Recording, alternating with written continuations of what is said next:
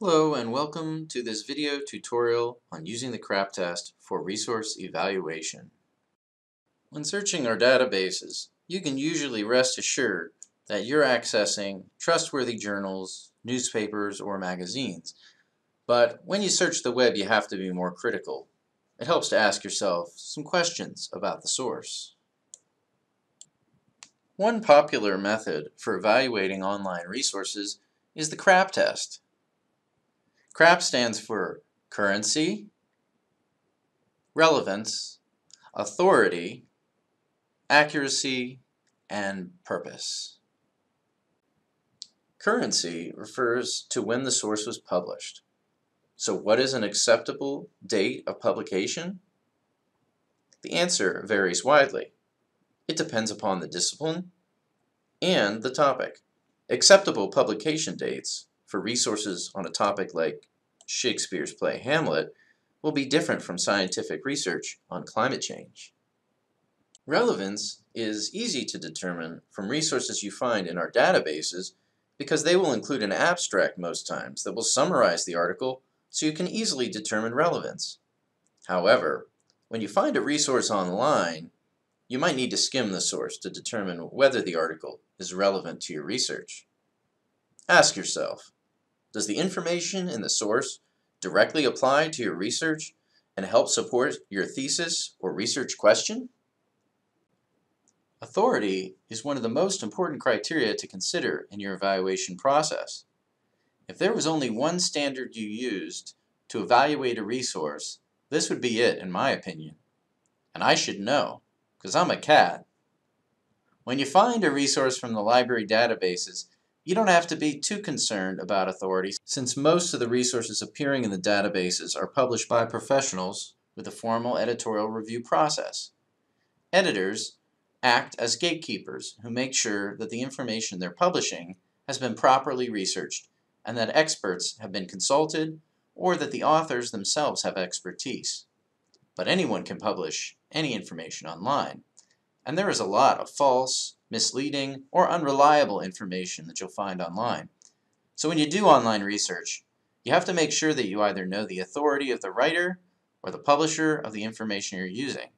And if not, you'll need to do some research on the online resource you're using. We'll talk more about this in class. The second A stands for accuracy.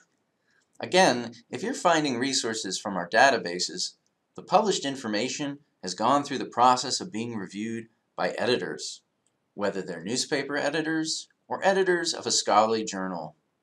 And all of these professionally produced resources will include cited research. But with some online sources this might not be the case.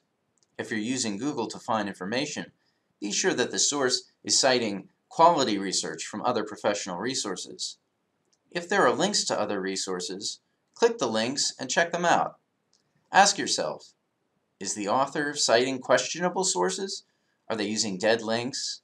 Are they citing no other secondary or primary resources?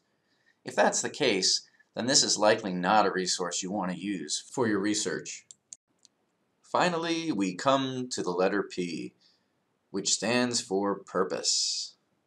No, wait, that, that's a porpoise. I said purpose. Purpose can be a useful criterion to consider no matter where you find the source. Even the resources from our databases serve different purposes. For instance, in scholarly journals, you'll find book reviews in addition to scholarly research articles. These serve very different purposes. A book review is quite brief and only intended to help the reader decide if they want to read the book that's being reviewed. Although a book review can appear in a scholarly journal, in most cases, it will not be very useful as a secondary source for your research. A scholarly research article, on the other hand, is useful as a secondary source because it contains substantial research or analysis of a topic. Likewise, online you will find websites that have different purposes. They may contain information, but their central purpose might be to sell you a product or to entertain you. Oftentimes, a website that intends to sell you a product can be set up to look as if it's trying to inform you. And other times, The website might contain truthful information, but it just might not be the best source for that information.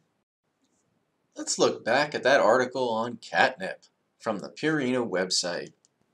I pointed out it being problematic that it has no listed author, but it is also on a commercial website that wants to sell you products and probably isn't the best source of reliable information on catnip.